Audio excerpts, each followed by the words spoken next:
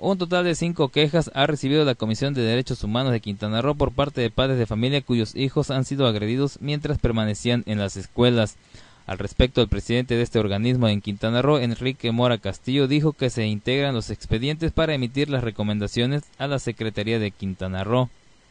Al respecto, el presidente de este organismo en Quintana Roo, Enrique Mora Castillo, dijo que se integran los expedientes para emitir las recomendaciones a la Secretaría de Educación de Quintana Roo. Del tema de bullying, hemos estado trabajando con cinco quejas en lo concreto, aunque tenemos muchas más con respecto a los maestros. En este caso particular, el exhorto que hacemos a las autoridades educativas es que provea de lo conducente para efecto de garantizar la seguridad física y emocional de los menores en la escuela. Es una obligación de los docentes asegurarse que los niños no reciben ningún tipo de violencia en su propio ámbito escolar.